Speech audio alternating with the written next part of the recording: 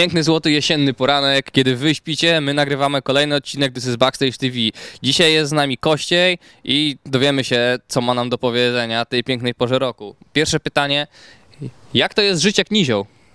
Dzień dobry, mam na imię Andrzej. Jak to jest żyć jak nizioł? Myślę, że trzeba było przesłuchać e, płytę Ciekawe przypadki człowieka nizioła i 80% e, wniosków, które wyciągną słuchacze po przesłuchaniu tej płyty, dadzą mi odpowiedź na twoje pytanie. Jak żyć jak nizioł?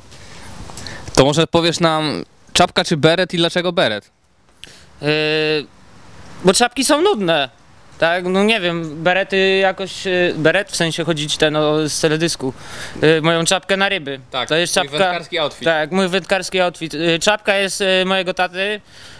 y, Zawsze w niej kosi y, trawnik u nas na działce. No i musiałem pożyczyć po prostu, żeby to wyglądało trochę inaczej. Chyba.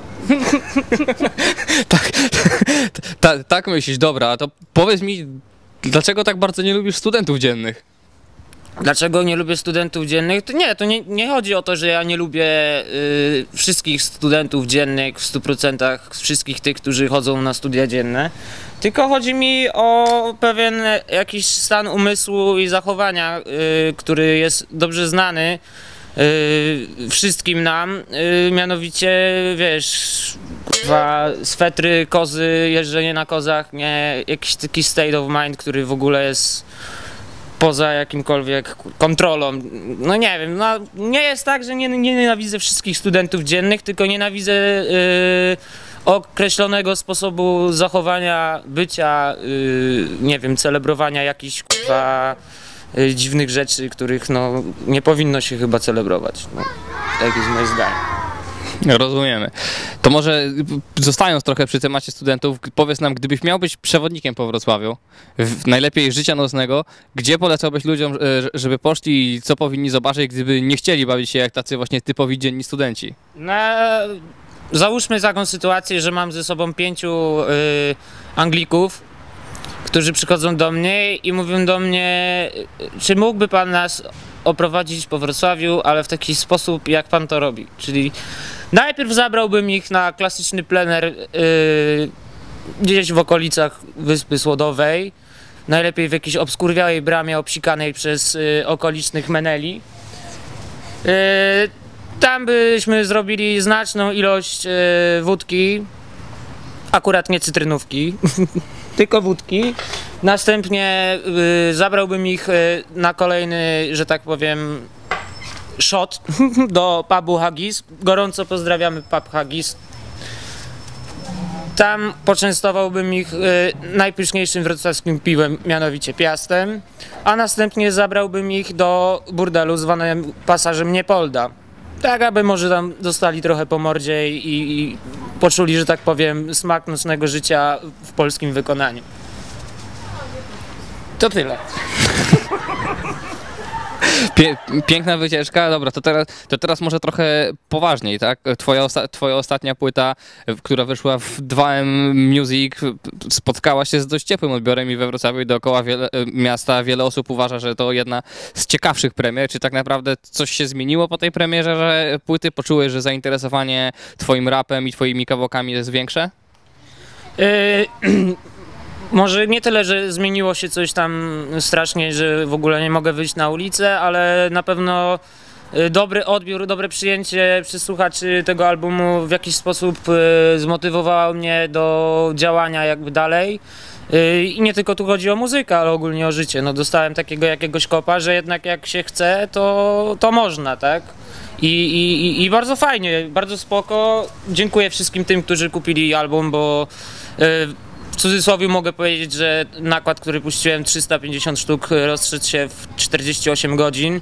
Trochę to tam trwało, zanim się wszyscy dogadaliśmy, ale no poszło. Ja sam nie mam na przykład swojej sztuki fizycznej. Ja, ja też nie mam, bo od, od, od 2M Music usłyszałem, że niestety nie ma takich sztuk. out, nie? No, Generalnie dokładnie. sold out. Pły, pły, także płyta się wyprzedała, możecie ją sprawdzić tylko na YouTubie, możecie ją sprawdzić w internecie, sprawdźcie na kanale 2M Music. Dalej, kolejne pytanie, może że grasz solo, ale także często można cię spotkać tak na płytach innych wykonawców z Wrocławia, czy tam innych grup też, w których gdzieś tam koleżeńskich, których gdzieś tam bliżej lub dalej się trzymasz, to może opowiesz wszystkim słuchaczom tak naprawdę w jakich jeszcze kolektywach i na jakich pływach, płytach można cię było zobaczyć i można cię będzie zobaczyć w najbliższym czasie. Na jakich płytach? To znaczy tak, jak ktoś tam gdzieś coś śledził wcześniej, no to y, mieliśmy taką bandę nazywającą się Brooklyn Dodgers. Y, Brooklyn Dodgers się rozeszło, może tak, może nie rozpadło, rozeszło, w, każdy poszedł w inną stronę. Y, miał powstać y, następny album, niestety okoliczności pewne i zachowanie pewnej osoby po prostu zmusiły nas do tego, aby no, rozejść się już ostatecznie, bo jednak y, granica tolerancji na głupotę y, w moim wykonaniu, w sensie granica mojej tolerancji na czyjąś głupotę jest wysoka, ale y, tym razem jednak, y, że tak powiem, została pałeczka przegięta na wszystkie możliwe strony, no i tej płyty nie będzie. A szkoda, bo y, mogła być naprawdę ciekawa. Mam chyba z 8 numerów takich, które są właściwie gotowe, można by było je puścić w internet, ale niestety nie ode mnie to zależy i za dużo osób y, włożyło y, swoją jakby pracę w to, żeby te numery powstawały i po prostu no, trzeba się zachowywać fair, więc nie będziemy robić chyba żadnej prowokacji, żeby wiesz, wypuścić y, za frajer y, coś, co powstawało tak naprawdę dosyć długo, bo chyba z półtora roku żeśmy się jebali z tym albumem, który ostatecznie nie wyszedł. No i niestety muszę uszanować resztę, bo album był nagrywany z żywymi instrumentami, yy, czyli sz- gitarzyści, perkusista, yy, basista, klawiszowiec, no i tam, no i my rapery. Yy, wtedy była nas już tylko trójka. Obecnie już nikogo nie ma i ta płyta się nie ukaże. Myślę, że rozdział w Dodgers można zamknąć.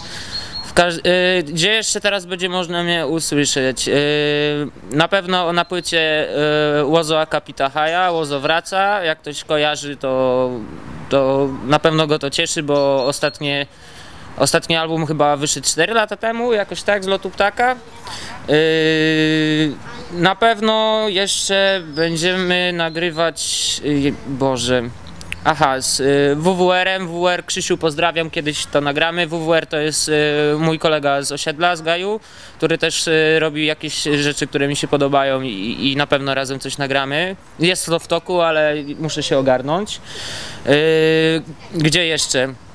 Mm, aha, na pewno coś zrobimy z Junesem, bo Robercik pozdrawiam. Junes jest m- powiedzmy, że ma jakieś e, podejście do życia i, i, i z gadki wynika to, że na pewno się dogadaliśmy, jak tutaj ostatnio były ciekawe melanże, więc myślę, że z Junesem też będę chciał coś zrobić. Yy, I właściwie mogę powiedzieć, że na płycie yy, Łoza będzie taki kawałek Łozo featuring Kościej i featuring Junes. A gdzie jeszcze?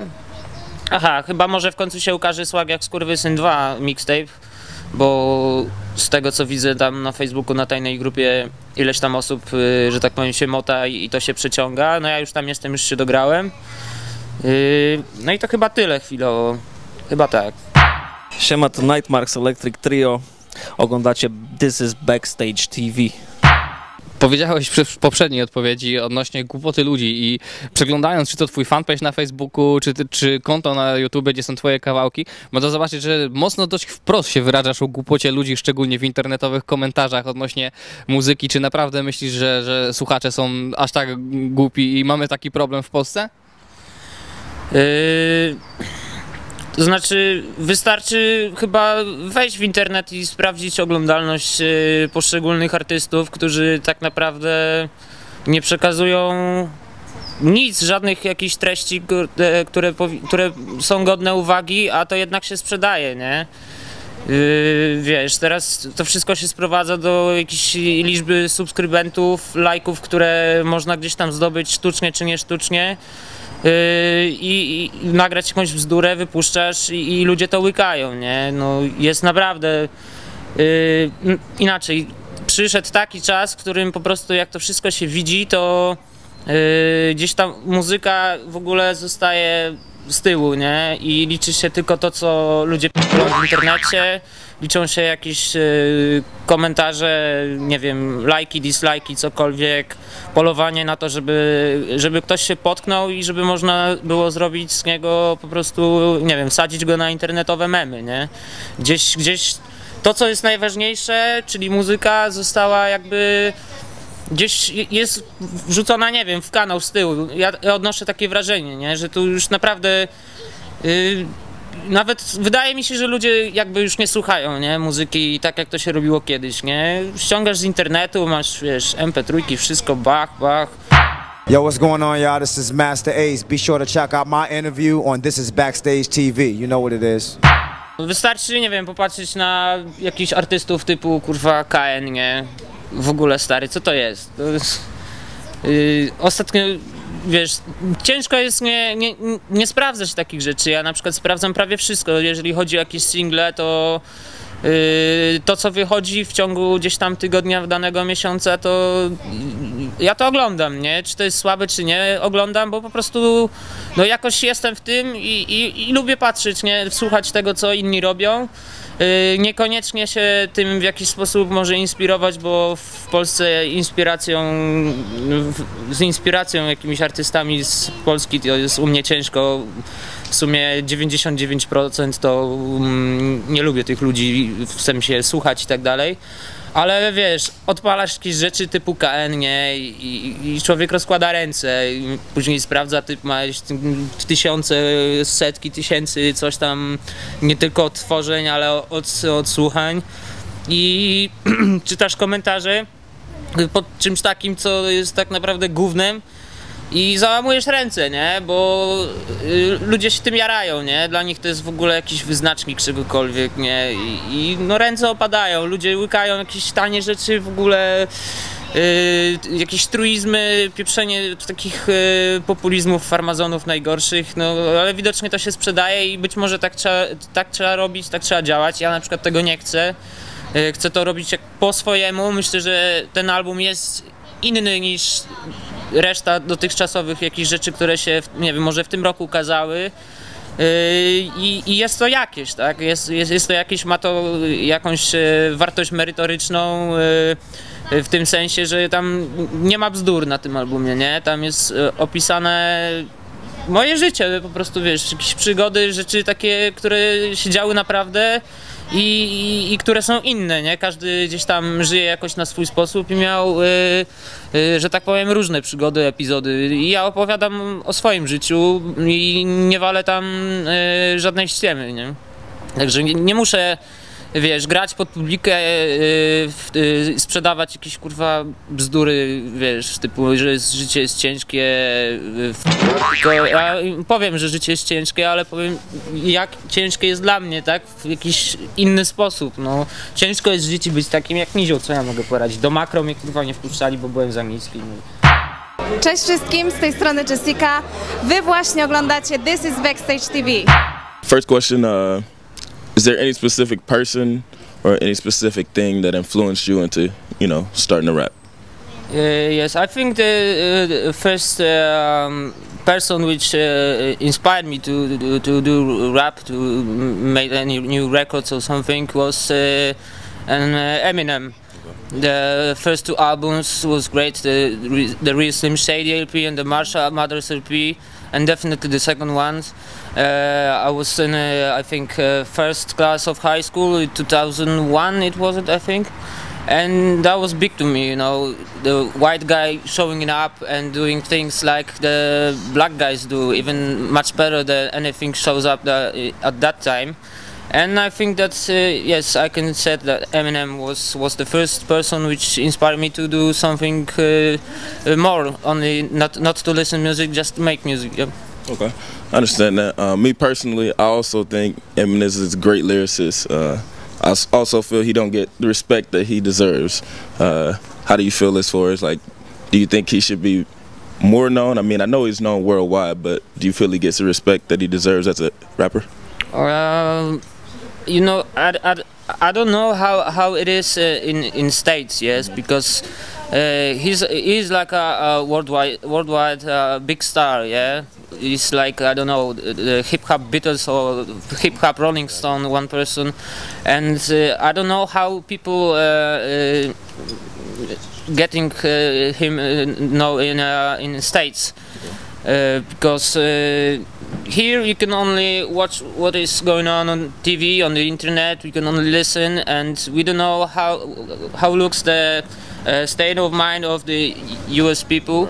So uh, there is possibility that he he gets a, a lot of respect and a lot of disrespect on the other side. Yes. So it's hard to uh, uh, hard to uh, hard to hard to hard to. It's too hard. Get next question. All right, if you could pick uh, one person right now, I'm gonna say other than Eminem to make a record with, who would that be? From Poland or from States? Anywhere in the world. Anywhere? Okay. So, uh, just a dream, yeah? Right, exactly. Yeah, like a dream. I think that will be uh, very, very nice to make records with uh, Kendrick Lamar, yeah? Yeah, I think he he's now he's the biggest for me, and it's good that uh, uh, in you know next 10 years 5 years maybe uh, they will show up another artist like kendrick lamar. Because for long uh, long time like five six eight years there was only i don't know um, and like eminem then was 50 cent yeah there's uh, i'm talking now about the mainstream things. There's uh, uh, gyro things or, or you know and it was 10 years of uh, the, the whole decade was like uh, like the all, the all spotlights was on them. And it started to be a little bit boring yes. There was no another artist. Exactly. and you're just sitting yeah all right new single yeah yeah. And then the guy like kendrick lamar shows up and you just oh my god Right. Understand. another you know uh, top player with uh, with skills with uh, with you, you just listen to him and he, I I don't know how to explain it but he, his words got like a strange power or something you know You- you just feel what he's saying. yes Exactly. just rhyming and you you're done it. All right. All right. So, going off of that, uh, how? Give me your top three, I guess, lyricists of all time right now. Top thrillers Yes. Um, it's a little bit hard question because there is a lot of artists that I like. 'cause we can put Eminem, we can put uh, uh, Kendrick Lamar as well. Uh, for a long time, uh, I uh, love to and to listen uh, uh, Ice Cube. Okay. And uh, all, all, all whole uh, albums, all, all stuff from Ice Cube was for me like the, from the top shelf. Yeah Okay. and Ice Cube, uh, I don't know, Rakim, of course, um, Cool G Rap as well. Um, oh, there's a lot. The list is very very long, so it's. All right. So, getting back to you personally, um, what is your favorite part of the process when you're thinking of the songs, when you're, you know, performing the songs, recording, you know, shooting videos? What's your favorite part of the whole process? Um, I like to uh, uh, receive uh, new music from my colleagues. Yes, new beats, and you listen to them and just try to recognize what can you write on it. And uh, I like to be uh, surprised from them because I'm always waiting for a new uh, beat from them. You just receiving and say, "Wow, we can do it! Yes, we can make another song. This will be big." And I, I like this this this moment when I'm just waiting, you know, to get another new beat and try to uh, wrote something for this and and and yeah, that's it. Okay. And do you have any specific routine, like when you get these beats? Like, is there a certain place or anything you you know typically do when you're listening to these beats to decide, uh, do I want to make this track or not? Um, I, I, all the time when I'm receiving something from uh, from my friends, uh, mostly all, all, all of these beats I'm using. Yes, so there is uh, no uh, uh, there is no uh, blah, blah, blah, blah, blah. przypadek.